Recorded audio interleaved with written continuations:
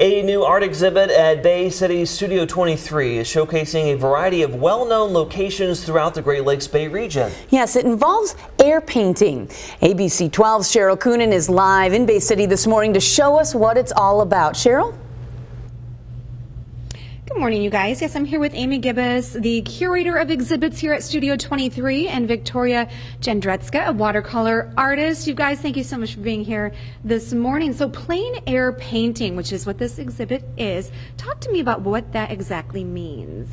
So, plein air painting, translated from French, means in the open air, but essentially what that means is that we are outside and we're painting or drawing based on what we see in the world in front of us. Okay, and what makes this exhibit unique is these paintings are all paintings of various locales in the Great Lakes Bay region. Can we kind of start at the beginning and um, talk to me, uh, Victoria? You're a watercolor artist, and we're going to get to your painting in a moment, but tell me about uh, what this um, exhibit means to you and how it all unfolded.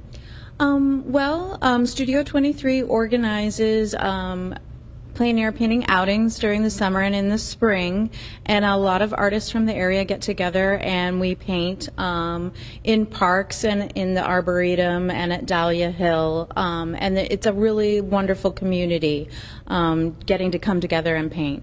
So it's about the camaraderie among all of you artists, but what I find interesting is that uh, the different locations, for example, this is yours, Victoria, this is at Dahlia Hill in Midland, this is your piece. How long did this uh, take you to create? Create? Um, about two and a half hours. Okay. And then other artists painted the same locale, and we also have um, some locations in Linwood and such. And talk to me, if you could, um, Amy, about every artist has kind of a different interpretation.